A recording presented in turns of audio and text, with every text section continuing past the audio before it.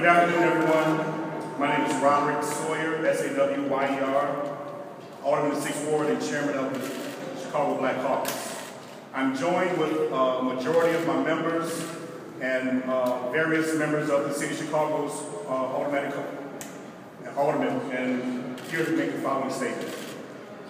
The Black Caucus is here today to call on Mayor Emanuel to fire Chicago's Police Superintendent Garry McCarthy.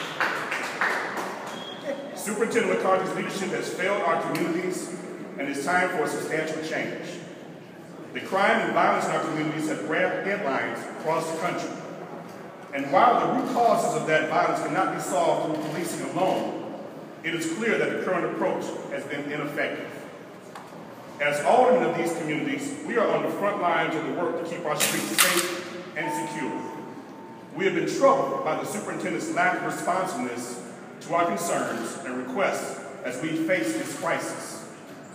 In addition, we have been deeply concerned about the superintendent's failure to place African Americans in position of leadership throughout the department, as well as a reduction in new African American police recruits, despite our repeated efforts and inquiries.